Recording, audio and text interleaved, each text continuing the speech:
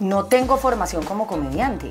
O sea, yo aprendí a entender que los comediantes de verdad tenían una academia y un rigor que yo desconocía. Uno tiene que darse el crédito, las mujeres venimos de muchas generaciones de hacernos sentir culpables por una cantidad de cosas, yo no estoy de acuerdo con eso. Yo en mi trabajo he encontrado una gran fuente de, de placer interno y ese placer me ha permitido reconectarme con la alegría. ¿Eres lo más? No, que si soy lo más, sí, yo me lo creo. Ah, vale, vale. Ah, me lo No, creo no, total. Yo sabiendo eso me quedo mucho más tranquilo. Mira, y, y descansa en paz. Cerveza Estrella Galicia patrocina Show Business. Bienvenidos al futuro, bienvenidos a Bit2Me.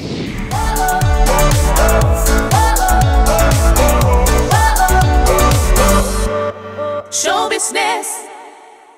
Al principio uno al hombre le saca invitaciones y alegría, después compromiso y cría, más adelante uno le saca plata, ya al final uno lo saca al sol. Un poco enfrascadas en la mente y todo el tiempo nos dicen cásese, cásese, cásese, porque si no se va a quedar solterona vistiendo santos. Eso lo hemos oído todas en la comunidad latina. Es una charla de amigos, esto no es una entrevista, es más, no tienes ni una presentación.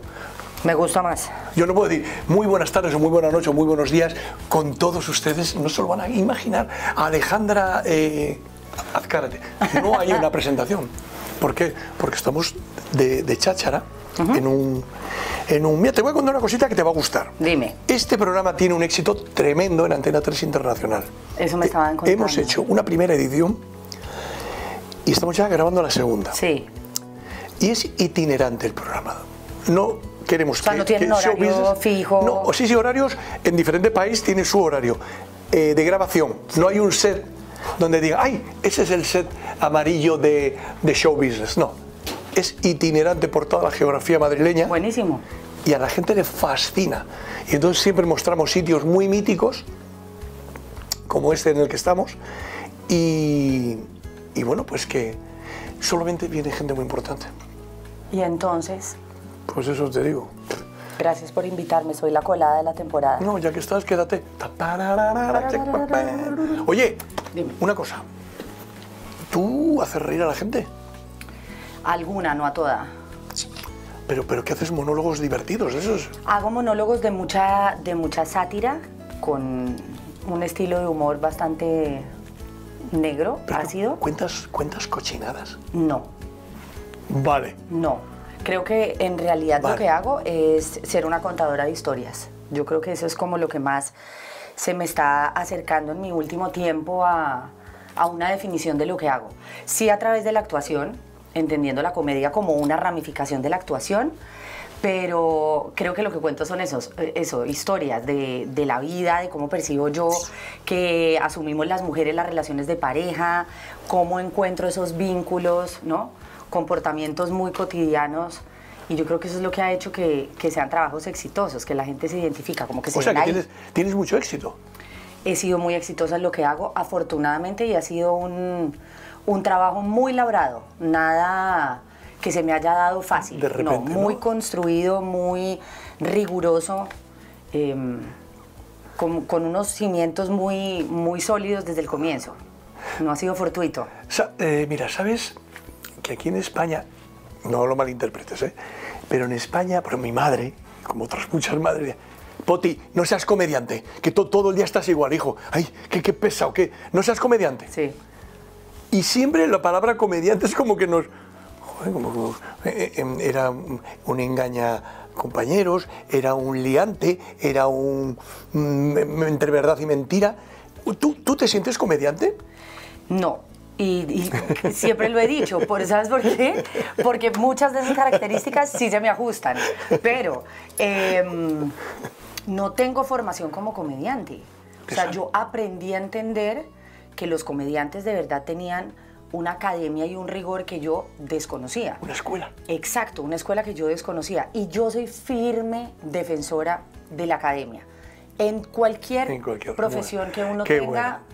creo firmemente en eso. Entonces, pues no. La enseñanza, la preparación, ¿verdad? Hay que trabajar las cosas, hay que picar piedra todos los días. sí, sí, No es que yo soy comediante, yo hago reír. No, y tener yo hago como llorar. curiosidad y estar investigando y buscar cosas que incrementen como la, la- la consistencia de tu trabajo y tal. Entonces yo lo he visto más como una ventana que se me apareció en la actuación donde entendí que había un cómo podía yo decir las cosas con cierta dosis de cinismo incluso que generaban una gracia muy natural. Pero no soy comediante. Oye, tenemos un grupo de amigas, sabes que en España hay mucho... España es un país muy, muy amigo de, de- de- de- de los amigos. Y hay mucha gente de Venezuela, de Colombia, de. México y tal. Oye, cuando se enteraron amigos comunes que venías al programa, todos querían venir a verte. ¿En serio? De verdad, de- Ay, gente pues de Colombia, alegría. gente de Colombia estaban encantados de, de, de verte de cerca. Que eres, eres lo más. Eres lo más. No, que si soy lo más, sí, yo me lo creo. Ah, vale, vale. Ah, me lo creo total. Yo sabiendo eso me quedo mucho más tranquilo. Mira, y, y descansa en paz. ¡Qué bueno! lo creo ¡Qué total. rápida es! Me encanta. Te voy a decir porque, como, como todas las personas, he, he tenido tránsitos en mi vida donde yo misma he puesto en duda mis capacidades, mis dones, mis bondades, mi ser en toda su integridad. Y salir de esos espacios me ha hecho volverme a convencer muy lentamente de que para mí yo soy lo más. ¿Esto qué quiere decir? No entro en competencia con nadie, no lo estoy haciendo en paralelo frente a otras personas, pero me tengo en una muy buena estima, en un muy buen concepto y me gusta como soy. Oye, tú eh, te explicas muy bien. Te explicas muy bien. O sea, pero- me acepto como soy, aunque no lo entienda. Ahora que me estabas diciendo como esa reacción de los latinoamericanos cuando dijiste que me ibas a invitar, la verdad que a mí me conmueve. Cuando vengo a un espacio como Madrid y de repente me paran en la calle, me abrazan, me piden la foto para la tía, para el hermano, el video para la mamá. O sea, cuando uno sale de su país, o yo por lo menos soy muy consciente, por más de que lleve años en, Claro. en el entretenimiento como artista, pues que uno es un nadie y llegar y sentirte que eres un alguien por esas comunidades que lentamente las ha- has ido trabajando con amor y con rigor es muy hermoso. Eso es algo que yo agradezco, pero de corazón, porque me, sí, me, me fortalece mucho a nivel personal. o sea, sobre que, todo. que amenazas con volver. No, es que yo nunca me quiero ir. Ah, vale, Paso vale. ahora Ah, la mitad de mi tiempo aquí en, en España y, y y mi plan siempre ha sido ese, ¿no? ¿Y trabajas ahora aquí? se me está materializando, sí. Eh, hago aquí mis monólogos. Ahora estoy con un trabajo nuevo que se llama Lo que se permite se repite, con lo cual te quiero decir que me vas a volver a invitar porque ya permitiste que viniera. Claro, claro. Entonces eh, hice gira aquí.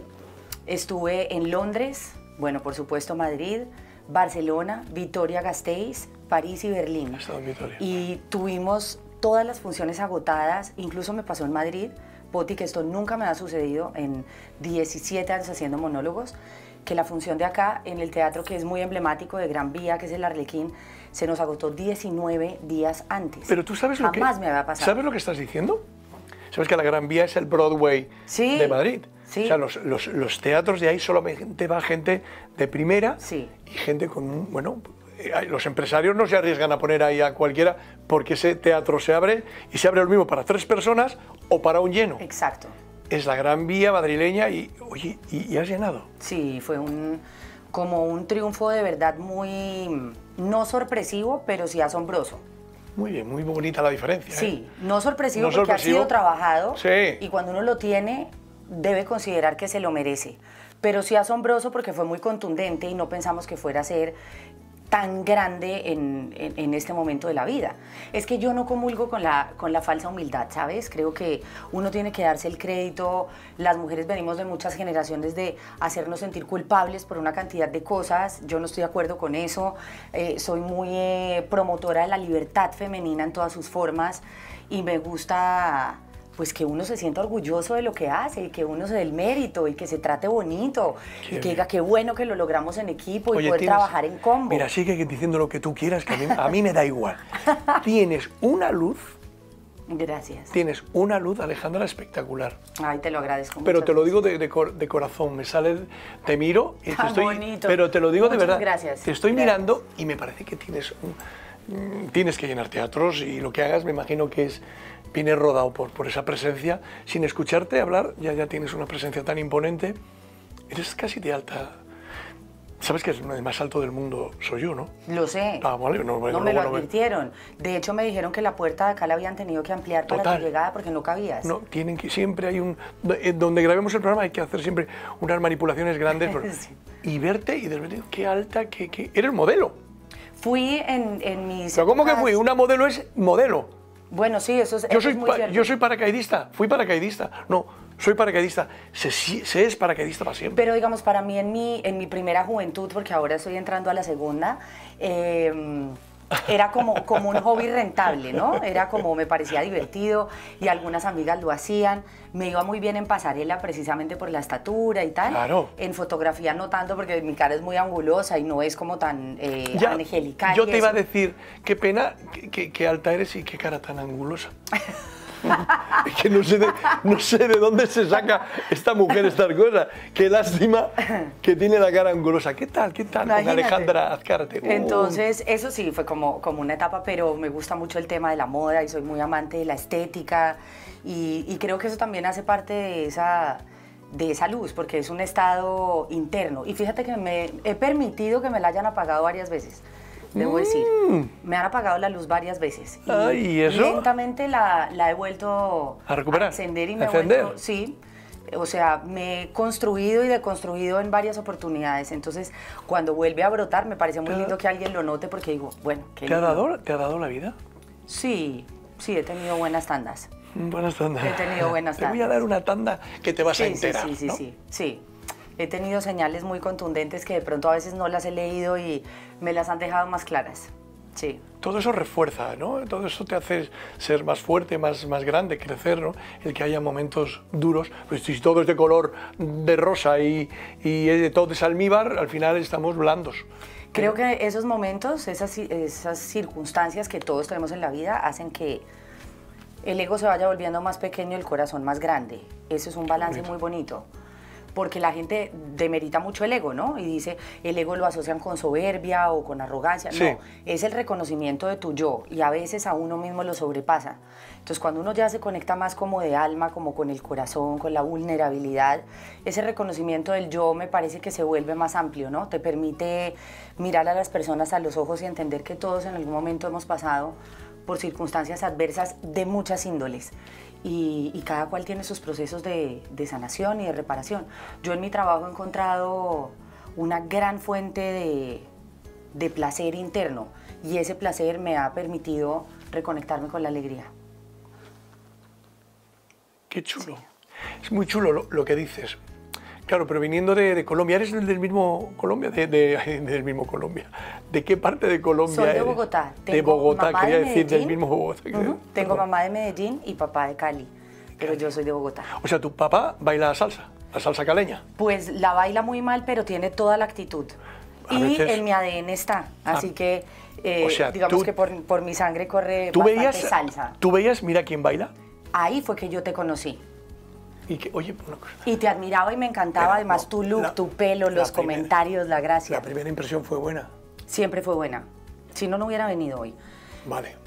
No, pero yo también ¿sabes? prefiero preguntarte cosas para ir avanzando, porque si no, pues mira, no me gusta. No, mira, ahí yo te vi y fíjate que cuando me contactaron para esta entrevista, yo dije, ¿pero quién es el presentador? Me dieron Poti y yo, ¡Ah! ¿Poti, el coreógrafo? El de Mira quién baila, sí. Entré, miré lo de show business y yo dije, ya, sí, sí, sí, lo quiero, lo quiero, lo quiero. Porque me encantaba lo que hacías ahí, muy, muy divertido y muy honesto y muy creativo. Entonces, muy artista. Qué bien, qué gusto. Si quieres, si quieres preguntarme algo, me puedes preguntar. ¿Estás casado? Estoy casado. Siguiente pregunta, ¿te piensas separar? ¿El jueves? Ok, entonces hablemos el viernes. Eh, o el viernes. Eso. Pues mira, estoy, estoy casado, felizmente casado, tengo una hija, tenemos una niña de, de, 18 años que se llama Martina, que estudia muy bien y bueno, mi mujer también es, es profesional del medio, es, productora ejecutiva de Warner Producciones y estamos pues una familia de tres muy locos con, con la profesión esta, que podríamos haber montado una mercería. ¿Te imaginas? ¿Te imaginas? Vender redecillas para el pelo, braguitas, princesa, guantes, tal. Fíjate tú la tele. El caso es que sí, las artes tienen eso, ¿no? Como que sacan unos hilos que uno se va juntando con gente, pero es como energético. Cuando hay artistas, yo por ejemplo veo a veces pintores en la calle sabes que no vale nada lo- lo- en, en términos de dinero, lo que puedan vender, pero yo lo veo y a mí eso como que me conecta y me conmueve que haya una persona que se tome el tiempo de hacer su trabajo con dignidad y de pegarlo en un muro esperando que alguien se lo compre. O cuando veo un cantante, un guitarrista, que aquí pa- aquí pasa mucho, ¿no? En el centro que Sí. van muchos con artistas talento. callejeros con unos talentos. Buah. Yo soy de las que me paro, me quedo, aplaudo. Todas esas cosas me gustan mucho, o sea, me conectan mucho las artes. No soy de números, no sé sumar, soy, soy de letras y de manifestaciones artísticas, 100%. Oye, Eh, Alejandra, tú si te dicen, a ver, tenemos un trabajo para ti, ¿cómo te denominas? De todo el espectro artístico y de talento que tienes, tú yo sin lugar a dudas soy esto, porque mira que haces cosas. Y hay un trabajo que como aciertes igual te lo dan, pero tienes que acertar. Tú te denominas Narradora. narradora. Soy narradora. Creo que soy narradora de muchas maneras. Qué lista eres. ¿eh? Em, por escrito se me da muy bien, oralmente se me da muy bien, y la narración hace parte de la actuación, hace parte de la comedia, hace parte de, de la cuentería, incluso, ¿no? ¿Cómo lo cuenta de bien? Y, me parece que eso tiene mucho arte, porque no todo el mundo, No todo el mundo es narrador. No, a ti te no, pueden no, pasar cosas sensacionales Sí, sí. o nefastas en la vida. Pero sí. Y luego no sabes cómo replicarlas y contarlas. Hay Totalmente una, de acuerdo. Una fuerza en la comunicación. Totalmente de ahí, acuerdo. y creo que se nace así o no se nace así, como con la alegría. Se nace alegre o no se nace alegre. Tú puedes eh, trabajar tu autoestima, pero no puedes generarte alegría. Es un don que la vida te lo da y que la gente cree que es andar jijiji, jajaja. No, es ver la vida desde un espectro de alegría, o sea, que eso tiene muchos colores. Entonces creo que sería narradora. Ahora, si pudiera cambiar de trabajo y escoger uno nuevo, hoy me encantaría ser como evaluadora y crítica de spas. Todos los días haciéndome masajes, todos los días que me amasen de arriba abajo y decir, este está bueno, este no está tan bueno, me encantaría ese trabajo. Ya, que, que- Creo qué que no existe, pero si Qué alguien lo tiene, que me documento tan interesante el de Alejandra Azcárate, que la masen de arriba abajo todos Sí. los días y que solamente se dedique a dar opinión. Eso. Qué chulada. ¿no? Me parece que no estuvo tan fuerte, me parece que este no está tan terapéutico. El aceite lo sentí un poco caliente, la piedra, eso me fascinaría. Dedicarme a evaluar. Oye, hablando de aceite caliente, ¿cómo tienes el corazón? A ver, ¿cómo va el tema de, la- de los amores? Oye, tú me has preguntado a mí, ¿eh? Sí, Tú has sido directa, pum, ¿cuándo? Pum, ras, esposa, casado. ¿Tú cómo vas? mira, mi corazón eh, está Ya verás. como Ya verás, ya de- verás, la, ya verás la colombiana. Ya verás. Está, mira, está lleno como de, de calor, Sí. o sea, eh, como en efervescencia, Vale, en proceso de de efervescencia, que sea lo que Dios quiera. efervescente, o sea, mi corazón es efervescente. Bueno, no lo digo, pues ponemos aquí abajo un cairón. Eso, póngalo acá. ver. Ascárate, corazón efervescente.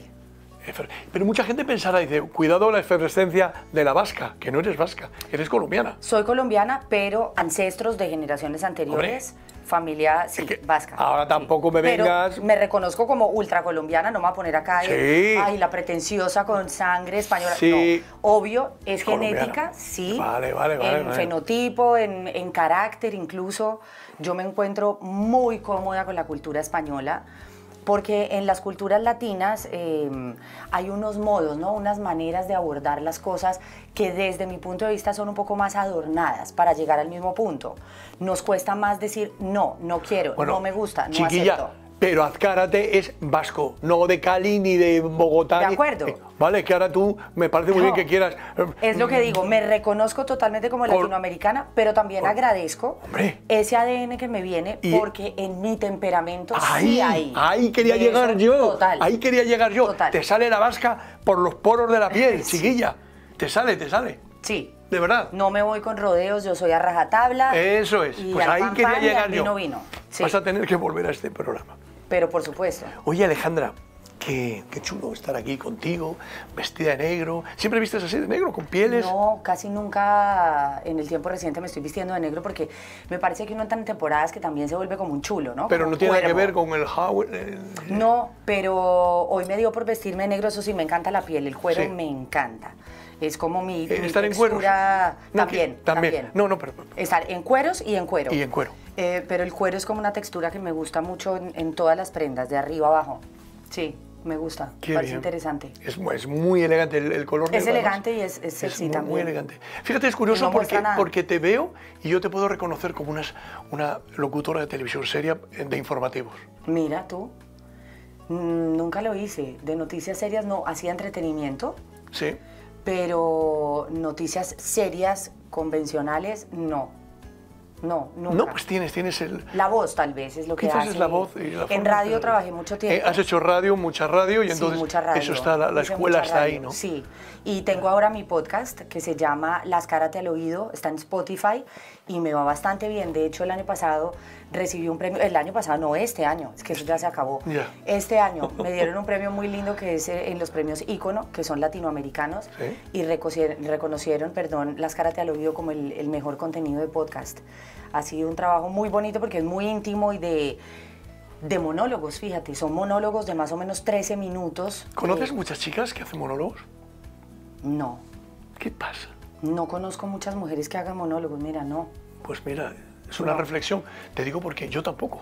A mí cuando No. de repente pa- parece, no, no hay ni profesiones ni de hombres ni de mujeres. Sí, de acuerdo. Pero de repente, o, o una mujer que haga humor, mm, es Sí. como, o que haga un monólogo, mm, sí, sí que lo hay. Sí, pero hay, es- es más exótico. ¿Verdad? Es algo Es como muy puntual. Es un gremio muy, muy, eh, una industria muy masculina, sin duda. Sí. ¿Sabes también por qué? Porque yo creo que a las mujeres nos ha costado mucho más tener como la templanza de subirnos a un escenario o incluso en una cena con amigos, ponle el contexto que quieras, a decir realmente lo que pensamos y sentimos. No es tan fácil. Eso hay que romper muchas brechas para llegar uno ahí, se necesita mucho coraje. Entonces, em, cuando yo decidí empezar a hacerlo era mucho más salvaje, no meditaba nada, eh, me mandaba por unos toboganes y luego tenía unas caídas tremendas porque decía, ¿cómo dije esto? ¿Cómo pensé esto?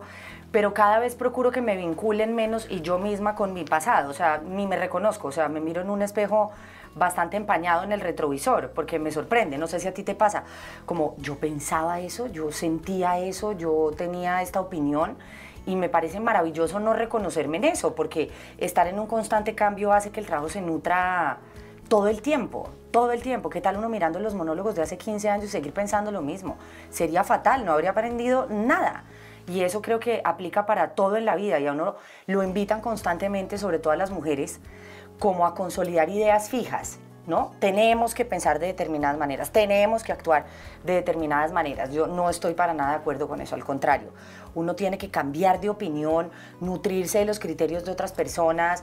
De repente hoy puedes pensar una cosa de la infidelidad y mañana otra, o hoy algo del matrimonio y mañana otro. O sea, son unas temáticas las de pareja que no tienen final eh, para mí. Luego los monólogos yo creo que los seguiré haciendo hasta que a mí me traigan felicidad.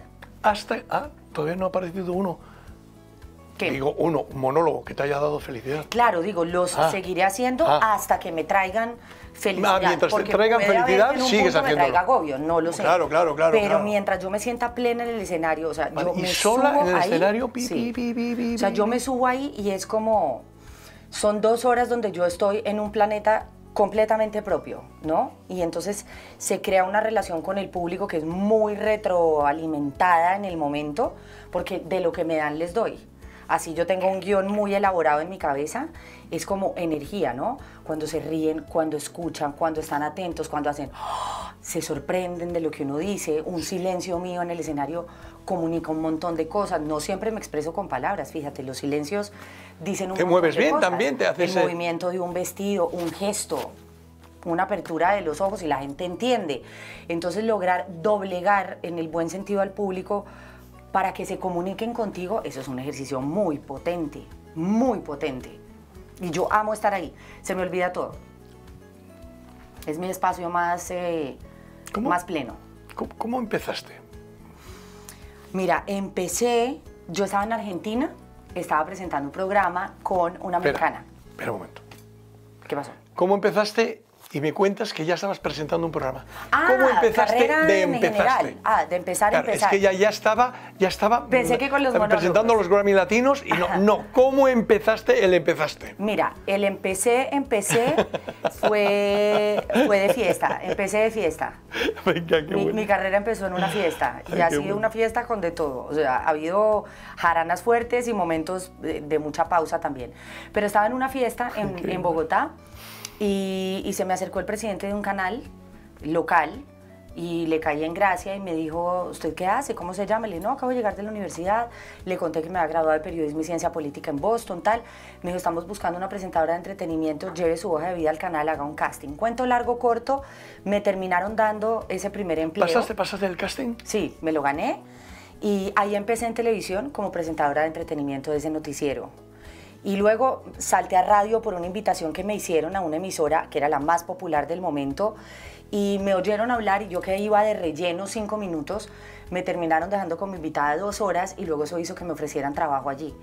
Entonces fueron cuatro años de mucho entrenamiento de radio. Luego seguí a un canal nacional como presentadora O sea, de seguido, entretenimiento. ¿eh? O sea, un eslabón se fue uniendo al otro. Y ya luego empecé a hacer, ¿no? hice mi primer casting para una telenovela como antagonista. Llevaban buscando la actriz para ese personaje tres meses. Y alguien por descarte dijo, llamemos a Alejandra Azcárate, ¿Pero miremosla a ver qué qué? pasa. ¿Pero por qué llaman a Ale- Porque- Ese señor no tenía ni idea de- de- del mundo de la actuación. ¿Por qué te llamó a ti? Cuéntame, ¿por qué? porque se había encontrado conmigo ocho días antes y yo le había dicho, oye, cuando tengas un chance para actuar, mírame. Así yo está ahorita como conductora y como locutora, mírame porque es lo que yo siempre he querido hacer. Le resonó al tipo, eh, me llamó y me gané el casting. Y entonces empecé como antagonista y ahí vino una Bueno. novela, una serie, una novela, una serie, ta, ta, ta. Programas, Pero empecé fíjate, a presentar. ¡Qué carrerón! Sí, y luego me fui, ahí viene el capítulo a Argentina, que es lo que da el gran vuelco en mi vida. Me fui para Argentina a presentar un programa con una mexicana muy amiga de Miguel Bosé, que se llama Rebeca de Alba, Rebeca de Alba. eh, y una argentina que se llama Ernestina Pais. Era yo la menor, ellas bastante mayores que yo, y eran tres generaciones de tres culturas, hablando de temas de mujeres, y se llamaba Ellas Dicen. Entonces, estando yo ahí en Argentina, empecé a pensar y dije, tengo mucho que decir. O sea, hay muchas cosas dentro de mí que quiero comunicar. Voy a hacer un unipersonal en teatro. Entonces, volví a Bogotá y empecé a escribir mi primer monólogo que se llamó Descárate con las Cárate. Me encanta. Y ahí le dio, fue mi punto de giro. Porque cuando yo me subí al escenario a hacer Descárate con las Karate por primera vez, lejos estuve de imaginarme lo que iba a significar para mí empezar a trabajar en ese género. Y desde ahí nunca más paré. Es como que te, que te sientes súper bien en la zona de confort, es en el escenario con tus monólogos, ¿no? Sí. Parece que te sientes ahí como muy... Sí, yo de la forma que me lo cuentas, todo. ¿no? O sea, si me ponen a presentar un programa, soy feliz. He sido jurado de realities de quién es la máscara, que aquí en España lo hacen. Sí, de Colombia tiene talento, que es el Got Talent, un formato enorme. Dos temporadas. O sea, para estar de jurado en un reality de estos, tienes que ser muy popular en, en- allá en Y Colombia. Eso se ha podido gracias al trabajo y gracias también al afecto construido con la gente, ¿no? Porque eso es un, es un vínculo que lo construyes como, como cualquier otro. Entonces, eso lo disfruto, presentar lo disfruto, que me entrevisten o entrevistar. Eh, también he tenido mis programas de entrevista. O sea, he podido hacer muchas, muchas cosas en el entretenimiento. Quizás lo que no he hecho ha sido cantar y porque no tengo el don. Pero con autotunes hay gente que canta igual o peor que yo y, Ah, y se han vuelto cantantes. déjalo. Entonces, de pronto un día me arriesgo. Déjalo, de Eh, momento déjalo, que vas por muy buen camino. bailar. ¿Bailar cómo, cómo lo Me llevas a gusta, bailar? me gusta mucho bailar, me gusta Pero- bastante. pero bailar. tampoco Pero me no vengas- profesionalmente, no, ni más faltado. Pero ¿y haber pasado, por ejemplo, por Mira quién baila. Lo hubiera hecho. ¿Sí? Sí, lo hubiera hecho. Qué lo hubiera hecho. Ese no lo hubiera hecho. En Colombia se hizo, yo lo hubiera hecho. Y, Qué pena. Pero sí lo que más me gusta y lo que más me llena es como contar las historias en teatro. Me parece que lo revuelve todo. Lo tiene todo mezclado. Todo está allí para mí. O sea, está la escritura, está la estética, está la actuación, está la sátira, está la reflexión, está la filosofía. Todo lo tengo allí.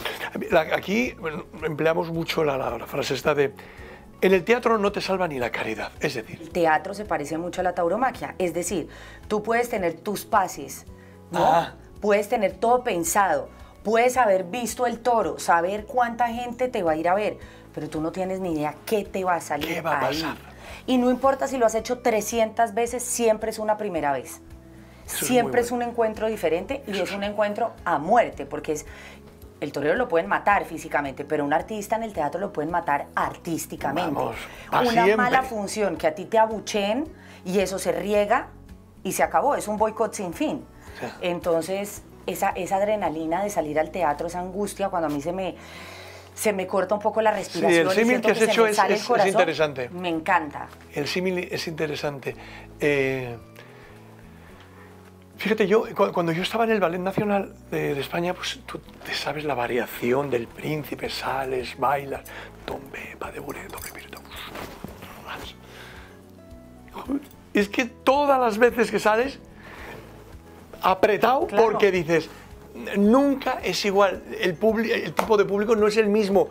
Eh, un día estás más flojo de, de- de- te puede fallar, o sea, que es un examen diario, diario. El escenario, lo que es el teatro, tanto en la versión eh, de interpretación como de eh, bailarín y tal, o sea, es, va muy unido. Yo me siento muy identificado con lo que dices porque es, eh, puedes estar, si es que, es que estoy el Ballet Nacional ya, sal a bailar, Y a ver mira, qué te pasa hoy. anda. Ahora en este tiempo he ido mucho a teatro acá en Madrid, que me encanta. Y cuando me pongo en el lugar de espectadora, digo, Dios mío, es que es, es muy fuerte el ejercicio porque como espectadora yo lo veo todo, desde otra óptica. Entonces yo miro el zapato del actor, para dónde miró, desde que sale y entra en escena, digo, uh, flojo, o uh, buenísima, ¿no? O sea, y ahí te das cuenta que la vida funciona mucho como el teatro. O sea, la gente se gasta, todos, porque me incluyo, nos gastamos muy poco tiempo en hacer evaluaciones sobre los demás. A veces en un segundo la haces, solo por ver a alguien caminar Qué bien. o por mirar un gesto o una imagen. Somos muy prejuiciosos los humanos. Y el teatro representa mucho eso, ¿no? Oye, de, eh, de- hablando de teatro, que no me has dicho lo de los novios o lo de, no sé, que no... ¿Qué? ¿Qué? ¿Qué? Pues porque te- te- no me has dicho, te he preguntado y me has dicho, no has hablado de la efervescencia, que no, no, no te he entendido muy bien. Perfecto, mejor que no lo entiendas. Pues vaya. Pues vaya. Volvemos a lo mismo. Es como el teatro. Mira, estuve en una obra que se llama eh, La obra que sale mal o La función que sale mal. Creo que es la función que sale mal. Y es una obra que sale tan bien porque todo sale mal. Qué maravilla, ¿eh? ¿La viste? Es buenísima. ¿Y te buenísima. viste terapia integral? No. Muy buena. Me vi también la importancia de llamarse Ernesto de Oscar Wilde, que es de mis escritores favoritos. Buenísima. La madre que te parió. La madre que te parió. Divertidísima. Está muy divertida. O sea, he visto cosas muy interesantes acá que me gustan. Pero lo que te digo, cuando miro eso como espectadora, digo, claro, es que estar del otro lado estás en un banquillo frente a un tribunal. Es que es un tribunal. Diario, es un tribunal y diario, a veces se convierte noche. en un tribunal de la Inquisición. Así es. Madre mía, que igual dices algo que pretendes o que esperas que haga risa, que haga... Y hace Y y pasa. silencio. Y otros momentos Y- donde tú dices, aquí no viene la risa y Dios de golpe mío. un aplauso, ok. Dios ¿no? mío, Entonces Dios ellos mío. te leen y uno los lee también. Yo casi que mío. desde el saludo sé como energéticamente qué tal va a estar la faena. Digo, ¿están conectados o están desconectados? ¿O me va a tocar luchar la doblegada? ¿O están entregados solo para recibir y esto va a salir hermoso? Fíjate, volviendo a lo de los novios, que no me respondes, pero sí que antes te saqué información. Antes nos hemos tomado un cafetito, no Sí. nos hemos encontrado aquí de repente, Sí, sí, por arte de magia. Sí. Y me decías que siempre has estado como muy enamorada de Miguel Bosé. Mira, ha sido un amor, sí, como artístico desde la admiración, platónico en el buen sentido, que me parece tan fascinante él. Y anoche justo me vi eh, su serie de cuatro capítulos, que es un documental. ¿Te viste el documental? El documental, no la serie actuada, sino el documental. Y si antes lo admiraba y lo quería, ahora sí que más. Porque es que cuando, cuando uno se identifica con los artistas, en sus caídas y en sus levantadas, esas lecciones de tanta dignidad, de tanta defensa por lo que hacen, me parece muy conmovedor. Y yo he tenido eso, yo he sido, no sé si testaruda, pero sí persistente eh, a, a- a mis modos, ¿no? He sido muy leal a mis maneras. Incluso te digo, cuando empecé a hacer teatro, a ti que te gusta la estética por la danza y todo esto, me decían mucho, pero ¿por qué sales con ese vestido rojo pegado con un faldón enorme? Porque era un faldón así como flamenco enorme. Si es que las, las mujeres que hacen esto van de jeans y de camiseta, y yo, pues esas son las mujeres que hacen esto. Yo soy una mujer distinta que hago esto. Qué revolucionaria tú, ¿eh? Desde la estética para mí Guerrera, ¿eh? Guerrera. Nadie lo hacía con, con un look de gala, sino muy relajado, muy informal. Y yo no me- nunca me he sentido cómoda así. Porque si yo no utilizo escenografía y la escenografía soy yo, para mí lo que yo me pongo, el traje que yo elijo, los accesorios que yo utilizo, todo tiene una información y todo tiene una, una razón de ser. Entonces ahí yo he sido muy pragmática en mis convicciones y he roto muchos esquemas dentro de los formatos que, que he hecho. Ay, Dios mío, yo pensé que hablaba mucho yo, pero tú bien, ¿eh? No lo hago nada mal. no, es que a mí me parece que es que... me que salen letreros. que- que- que- ¿Qué planes tienes cuando salgas de, de- de aquí de show business? Ninguno. ¿Ninguno? Ni cuando salga de show business, ni mañana, ni en dos horas, ¿No tienes ni en planes? un año. Mira, se Pero- me quitó eso, ¿Cómo no puedes tener No. planes tú? ya no, ya no. Pero si eres un cañón de Navarone, Pero ya no. ya no. No, te juro, la vida en, en dos momentos me ha cambiado intempestivamente en un segundo. Anda. Y de las lecciones más engrandecedoras que me han dejado esos episodios, esa no hacer planes. No tiene Vives el- el presente, el inmediato y ya está. Me ha generado una conciencia total del momento en el que estoy y de conectarme en lo posible con el gozo, con lo que tengo, con quien estoy, con lo que hay y lo que venga después maravilloso. Maravilloso, todo bien recibido y lo que no sea agradable pues también la seguiré batallando porque soy muy gladiadora, pero me ha puesto en un lugar muy, muy consciente del, del- del presente. Sí. Sí, ahora que- que te digo ahora. Por ejemplo, si fuese al revés la entrevista, ¿tú qué me, qué me dirías ahora? Después de eso que has dicho tú, ¿qué, qué- qué qué preguntarías? No, por dar continuidad a esto. Es que me has dejado de... De lo del presente. Sí, de pasta de boniato me has dejado. Por ejemplo, ¿sabes qué te preguntaría? ¿Qué plan has tenido que no hayas llegado a buen puerto? Uy, así. Ah, Soy ¿ves? un- así. ¿Ves? Así que prefiero no menearlo. Exacto, ya no lo meneemos fíjate, más. No lo menemos más. Ya no lo menemos y más. Esas cosas donde preguntan. La vida eh, te lo menea eh, solo, Sí, ya, va, ya va. Si tiene que venir, vendrá, ¿verdad? Exactamente. Eh, no, no, no le Yo demos siempre más. digo un dicho mexicano que me fascina y me gusta recordarlo con mucha frecuencia, que es, es una expresión muy popular en México y dicen, cuando te toca ni aunque te quites y cuando no te toca ni aunque te pongas. y eso es, eso es- sabiduría popular. Eso ya lo he escuchado yo en México. Uno es resistente, persistente, intenso. Y de Lo golpe que no quieras. es para No, ti, no, no, es, no lo más forces que más. La insistas. resistencia, por más de que intentes, no va a ser. Y luego hay otros momentos donde uno afloja y de repente te pasa así Sí, en sí, bandeja de plata ¿y la oportunidad. Era ¿Y para es- ti, no la estabas ni ¿Cu- buscando. ¿Cuántos días vas a estar acá en Madrid? Llevo tres meses. Es que trato de pasar tiempo, Ah, bueno, el tiempo tú- allá y acá. No, sí, está Tres bien, meses. está bien porque además respondes lo que quieres. Lo bonito tuyo es eso también. Sí. Que te- se te pregunta una cosa y tú respondes lo que tú quieres. ¿Cuánto tiempo vas a estar en Madrid? Llevo tres meses. ¿Que ¿Cuánto tiempo vas a estar para que hagamos algún plan para Es romper que- ese esquema que tienes tú, hermético? No, no es hermético, al contrario, es de mayor apertura. Porque si tú me dices, ¿cuántos días vas a estar en Madrid? Yo qué te puedo decir si no sé cuántos días voy a vivir, que tal que mañana amanezca muerta. No sé cuántos días voy a estar en Madrid. Yo sí te Oye, puedo pues responder. vamos- vamos a- Llevo tres meses en Madrid, porque ese es el tiempo que he estado. Pues, lo... lo- que sé es que estoy hoy y que qué plan podemos hacer, ese plan sí lo podemos materializar, que es tomarnos un café, tomarnos una copa, reírnos un rato, disfrutar, eh, eso sí. Oye, vamos pero a brindar eso es por, mucha apertura. Vamos a brindar por si lo que... No, no, virgencita, ¿Te que me quede como estoy, ¿te imaginas? Ah. Ah, no haber venido. Pero uno tiene que estar su vida en esa. Es que, es que, cuidadito con, con mi querida Alejandra, eres un cajón de sorpresas, ¿eh? Pero claro, es que hay que darle mucho valor a la Qué vida. bien. Y la única forma de darle valor a la vida es siendo uno consciente ¿Ves? que se te va a acabar y que te va a cambiar de un millón de formas. Entonces uno honra todo lo que tiene. Esto no está aquí. Me has caído fenomenal. Sí, tú a mí también. Ay, me encantas, Javier.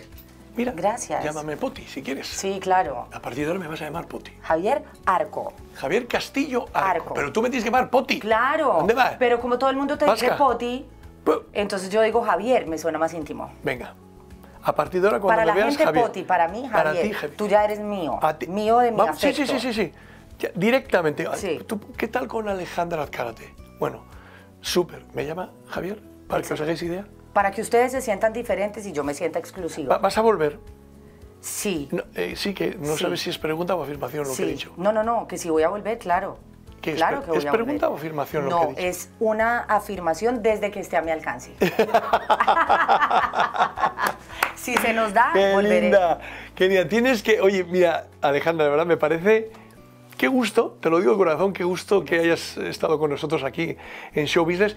Piensa que, que este programa tiene un- un- una tirada. Hemos hecho una primera edición con un éxito Qué tremendo. bueno. Estamos grabando la segunda, te, te lo dije al principio de la, de la entrevista, y en esta primera, en esta segunda estás ahí con, un- con letras de oro.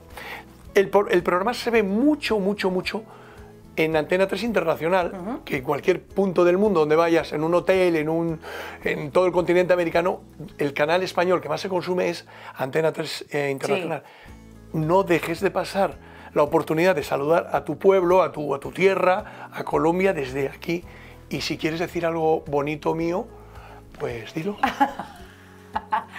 Pues mira, yo lo que puedo decir de verdad, de corazón, es gracias. Esa es mi palabra. Yo creo que cuando uno está conectado con la gratitud, todo lo bonito viene y todo lo malo también deja enormes aprendizajes. Entonces, a la gente que me esté viendo de Colombia, que es mi país, de cualquier otro eh, rincón latinoamericano donde me han abierto las puertas con tanto cariño, gracias infinitas. ¿Te sientes en casa? Por haber seguido conmigo, claro, por haber seguido conmigo, por haber eh, apoyado lo que hago, por darle valor y sentido a quien yo soy y por respetarme en mi esencia, que no es fácil, porque siempre he generado mucho frío y calor precisamente porque soy como soy. Entonces le abro esta invitación a las mujeres que me están viendo, latinoamericanas y españolas también, a que sean lo que quieran ser. Y punto. Uno tiene que reconocerse en, en su identidad máxima y te- defenderla a fondo. a ver, Alejandra, Siempre. Te he dicho, manda un saludo cariñoso Eso es muy para, cariñoso. para Colombia. Te has metido ahí en la parte esta reivindicativa las mujeres para arriba abajo, que estoy totalmente de acuerdo es contigo. amoroso. Y que digas algo bonito mío. Y dale. Di lo que quieras. Eso, eso es Estás muy en tu amoroso. casa. Eso es lo más amoroso, sino que a Poti lo que le gusta es que uno diga, hola gente de Colombia, Venezuela, Perú, Ecuador, Panamá, no sé qué, Costa Rica, la, ¿cómo? Latinoamérica entera, España, ¡uh! los amo, gracias. Y él es divino, divino, el presentador ¿Sabes más divino de Se lo- España. Se lo, dirás a todos. A todos se los voy a decir. Pues ¿sabes qué? Que me Mira, voy a lo, lo hice a tu modo y lo hice al mío, pero terminamos diciendo lo mismo. Yo pasé buenísimo, eres muy encantador, Poti. Qué linda mía. Eres y muy tú, divertido, y tú, muy tú- divertido. tú eres muy, muy, muy grande.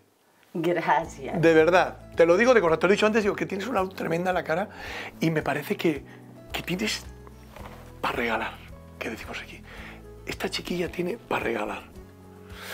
No sé si entiendes la expresión, pero, pero creo que, que todavía se te queda. El currículum que me pasaron tuyo es. eh, producción me pasó un currículum así, ¿no? O sea, todavía creo que no cabe aquí el- lo, lo que puedes llegar a, a dar. Pues por lo, grande que mucho. eres. De Pues verdad. mira, ahí sí que le digo en serio a mis admiradores, tranquilos, que me queda mucho para dar. Y a mis detractores, ténganse porque me van a tener que soportar mucho tiempo no más. creo que tengas detractores. Ah, Ese no es problema mío, eso es de ellos. ¿Sabes qué? Que te voy a invitar ahora mismo a un café. ¿Qué tomas? ¿Café capuchino o...? Mm, me gusta capuchino y me gusta también americano, pero en este momento me provoca capuchino con amaretto. ¿Se Y- puede? No, conmigo. Mejor que con amaretto. Conmigo. Vámonos. Eso. Vámonos.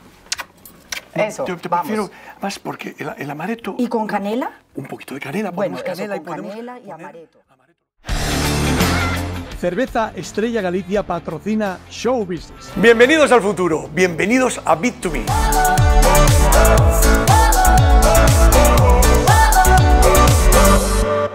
show business.